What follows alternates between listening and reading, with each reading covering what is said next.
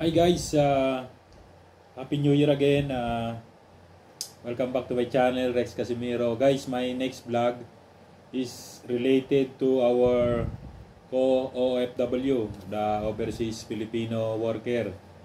Uh, guys, the difference between the boss madam and the boss sir. Yang, guys, guys, uh, what is the difference uh, how they deal with the OFW or the worker. Like that guys. Uh, I have many list here but uh, if if you experience experience this as a OFW you may uh, add in comment. Okay guys. I will start now uh, the difference between boss madam and boss boss sir. Uh, guys I I vlog this uh, just for my experience in my uh, former OFW employer or I think it is uh, all applicable to all uh, worker. Okay guys number one if the if the boss sir uh, want you to work this area uh, it is just like that uh, only only the boss just work this area it's up to you if you fully but for me it's okay uh, you clean or anything just only the boss said. And for madam uh, you work this. After that every minute they calling you she calling you that is the difference between sir and uh, madam. Every every minute he wants to talk to you what happened when you are working in this area? You finish or uh, I will see uh, you picture you video. That is the difference between the boss sir and boss madam. Number two if the sir uh, commands you buy this uh, item or he wants you to buy anything. Just like that no? Just just buy like this. It's up to you uh, what brand or anything. And then get then come back to the house. Then for madam you buy this item. You buy go. But then send me the location where you buy. And it's only 30 minutes when you you can you can go back again to your house to our house.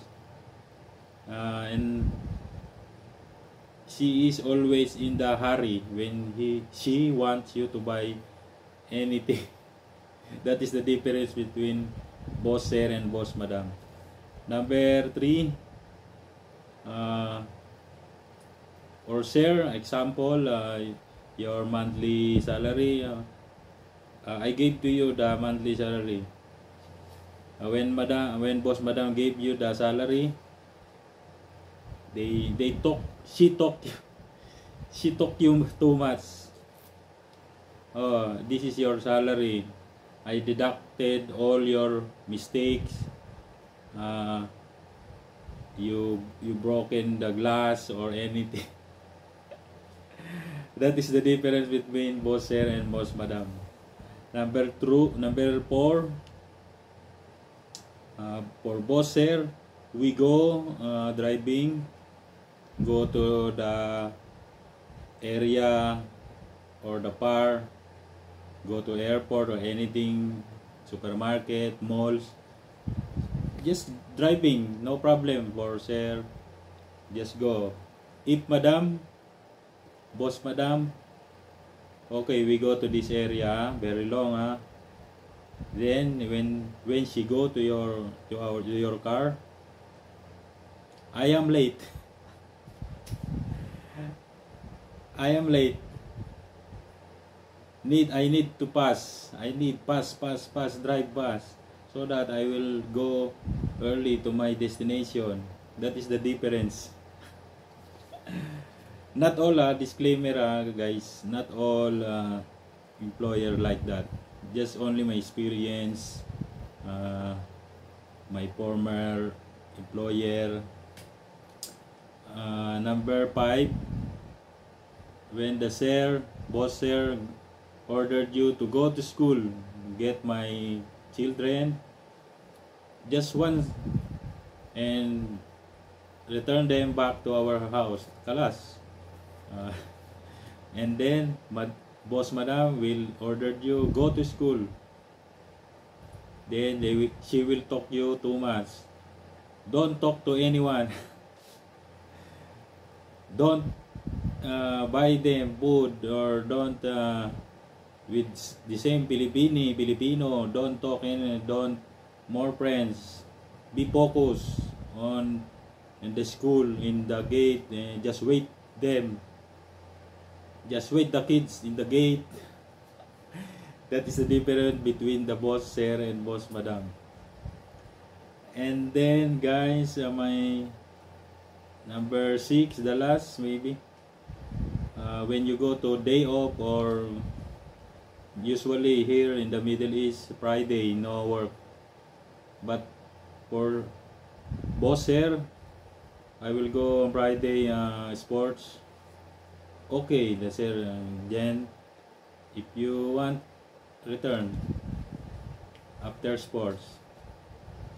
And for difference between boss madam and uh, boss madam, I will go to day off. No, no, no, no. No. What do you do? What did what what did you do in the outside? That is the difference.